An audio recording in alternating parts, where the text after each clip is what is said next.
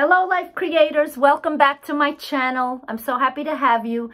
Today's topic that I want us to think about and discuss is what am I becoming?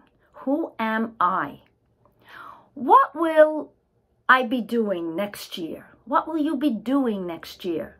The same thing as this year or something better? Who am I? You have to ask yourself that. What am I becoming? What are my beliefs? Who do I wish to become? You have to take time to think of these things. How do you identify yourself?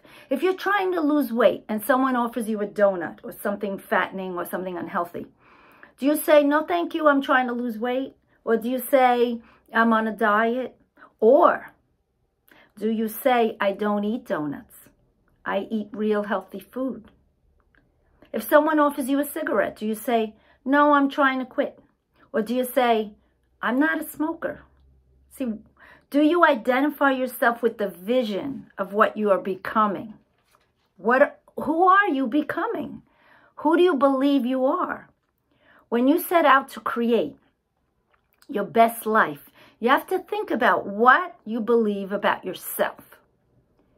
What do you identify yourself as? What do you say after I am? You can't just set goals and then take actions, but feel inside that you are the person that you've been. You must take a hard look at yourself and shift how you view yourself. Focus on the identity you want. I am blank, whatever, and believe it. I'm financially free. I'm organized. I'm prosperous. I'm a great mother. I'm a great father. I'm a wonderful friend. I'm a wonderful teacher. Whatever you want to identify as. See yourself from the end that you want. Your beliefs will lead you to the actions you will take and stick with your beliefs. They can motivate you or they can sabotage your efforts. Sometimes people start new behaviors and actions achieve success, and then sabotage their best efforts for many reasons. Perhaps deep down, they believe they don't deserve it. They're not really as capable, as talented as others have believed. They worry that people will find out that they're, they're fake. They're not fake, but they're worried. People will find out. They get scared they can't handle it, and so on. If your behavior actions, if your behavior and your actions don't match your beliefs, the wonderful changes will not last. You will go back to the way you were and then feel like, see, I knew it wouldn't last. If you become rich, you had better become a millionaire so you get to keep the money. Jim Rohn had said that. Many stories of people who win the lottery, for example, they soon lose it or when a rich person loses all their money, they soon earn it all back because they believe they are a rich person. What do you identify as? Are you a creator? Or do you just consume? Do you just use things up? Do you take and not give? What are you creating? What are you becoming? Who are you? Are you in your comfort zone? Or are you in the red zone, the danger zone? Are you relaxing in fear rather than moving step by little step according to who you want to become? Can you see yourself as the person you want to be? Sometimes we reach a tipping point where you say, I'm not doing this anymore. You make a decision and you can change course you, bit by bit, begin moving in a different direction. Your life begins to shift. At first, you won't be able to see a significant change. But one day, people will notice and say, you've changed. Wow, what happened? And remember, this works for good and for bad movement. You have to make a decision about who you are. This will make the difference and change your habits. So that they move you in the direction that you wish to go. You will see yourself differently and be proud of your progress. I am this type of person. I am the type of person who does what? I am athletic.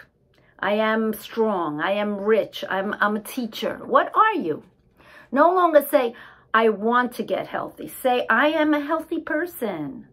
Therefore, I do this. I eat healthy food. I exercise. I get enough sleep. I don't smoke. I don't drink. I don't, whatever you want to say.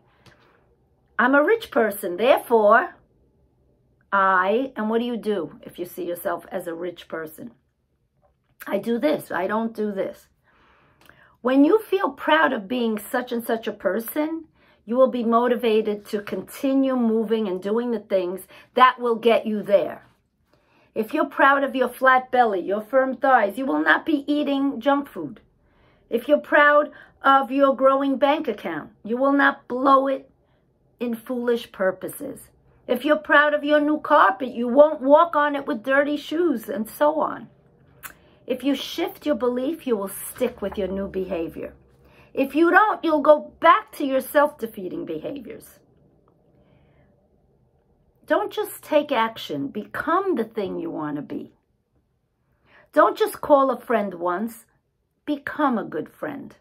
Don't just declutter your office today. Become a neat person. Become that. Align with who you want to be, and you will no longer have to be trying to change. Act in the way you believe you are now. So what are you saying after I am? Many people say, this is just the way I am. I'm lazy. I'm a procrastinator. I'm not athletic. I'm not good with technology.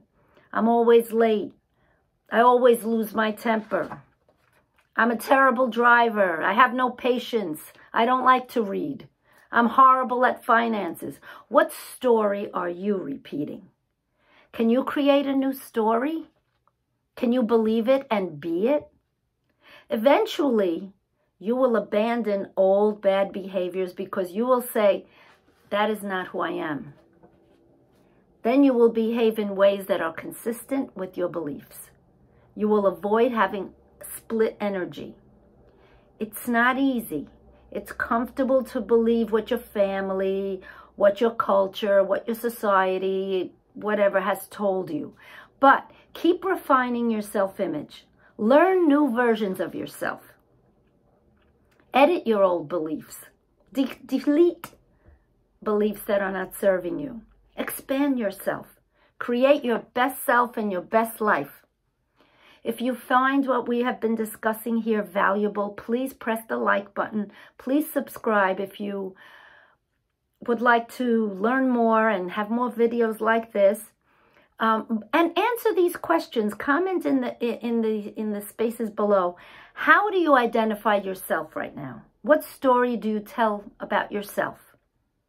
Who have you become? Who do you want to become? What behaviors will take you there? What image of yourself would you adopt and believe and project and create? Comment below, press the like and subscribe, and I'll see you in the next video.